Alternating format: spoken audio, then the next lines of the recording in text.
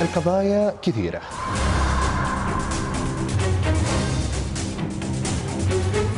تشترك دائما في مصيرها المجهول.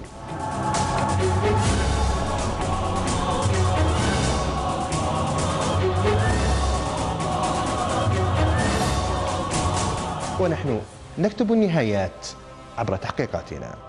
فقط في قضية رأي عام. بعد رمضان.